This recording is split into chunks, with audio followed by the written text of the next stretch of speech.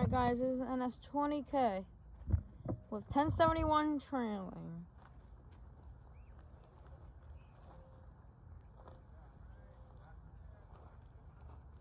Ace leader. It's an ace leader, guys. It's supposed to go crazy.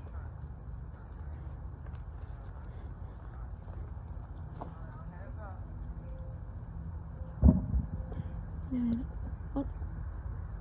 Did it trick me again? Yeah, it did.